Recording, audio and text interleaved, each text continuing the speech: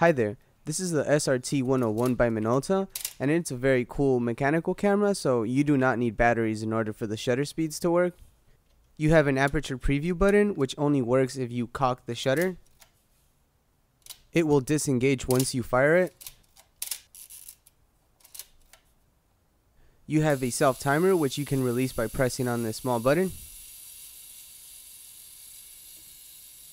If you pull it all the way down, the timer is around 10 seconds. The flash sync is on the side. To remove the lens, press down on this button and twist. This lever locks the mirror up in place to reduce vibration. The shutter speed dial is on the top as well as your ASA dial. I'm going to go ahead and set this to 400, so pull up on the outer ring before twisting. Pull up on the rewind knob to open the door. Take your roll of film like this with the nipple going down and place it over here.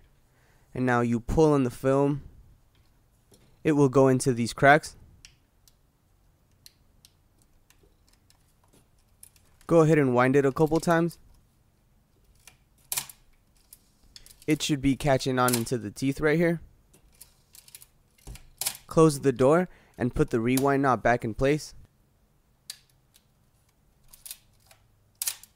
You should see the rewind knob move as you advance the film. You can keep track of the number of exposures you have left with the film counter. When the roll is done, press the bottom button to release the film.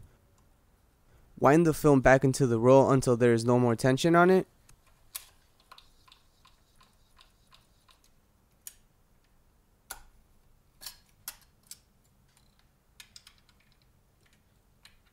The battery compartment is down here and it uses a weird battery. It looks like this.